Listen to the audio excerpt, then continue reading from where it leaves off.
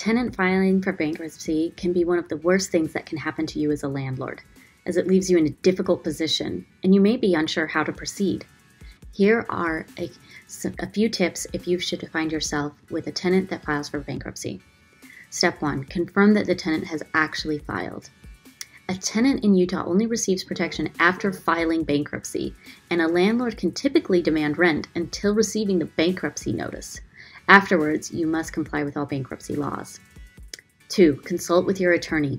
It's important to consult with an attorney who is experienced in bankruptcy laws and can help you understand your rights and obligations as a landlord, as well as guide you through the process of dealing with the tenant. Determine the type of bankruptcy filed. There are different types of bankruptcy that a tenant in Utah can file, and each one has different implications for landlords. Chapter 7 bankruptcy, for example, is a liquidation bankruptcy in which the tenant's assets are sold to pay off creditors. Chapter 13, the tenant creates a repayment plan to pay off debts over a period of three to five years. Step 4 follow all of the eviction pro- proper procedures.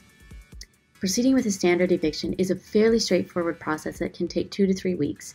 But once a tenant has filed for bankruptcy, this process becomes extremely complex and may take months to finalize. Due to the protections that the tenant receives, a landlord in Utah must follow strict adherence of the bankruptcy notice code or risk negatively impacting his or her case. Always best to consult an attorney. In conclusion, dealing with a tenant who's filed for bankruptcy can be challenging. However, by understanding your rights and consulting with an attorney and following proper procedures, you can protect your interests and minimize any negative impact on your investment.